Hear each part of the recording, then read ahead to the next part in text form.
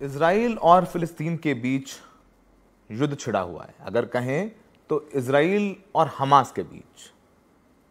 शनिवार को हमास की तरफ़ से इसराइल पर हमला हुआ और उसके बाद से इसराइल ने भी बहुत तगड़ा पलटवार किया है। हर वक्त, हर मिनट आम सिविलियंस, आम लोगों की जान भी जा रही है, जिसमें बच्चे और महिलाएँ भी शामिल हैं। ये जंग कहाँ जाकर रुकेगी? इस पर हमारे साथ बात करने के लिए एक्सक्लूसिवली फिलिस्तीन के भारत में उच्चायुक्त अबू अलहिजा साहब हैं।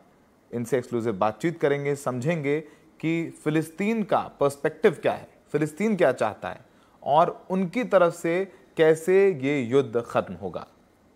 How do you see the situation now sir because today just now a statement has come from uh, spokesperson of Israel that uh, they have recovered bodies of uh, 1500 Hamas operatives from uh, in and around area of Gaza Strip.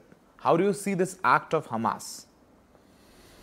And uh, I think the situation in general is very difficult, especially the Israelis is using all uh, their power in the mass destruction, destruction of buildings, infrastructure, the people.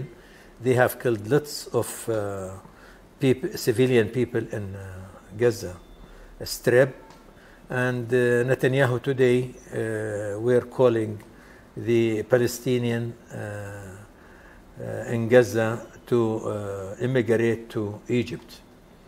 So the situation in general, it's sure it's difficult.